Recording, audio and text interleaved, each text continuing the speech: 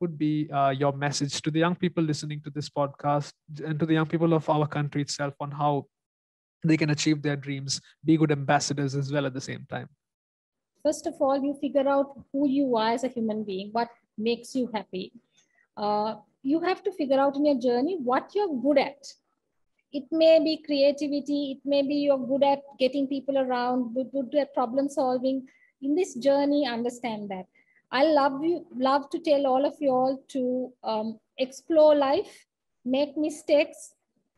Don't pick up choices because you're pressurized to pick up. Pick up, take a challenge, go into it.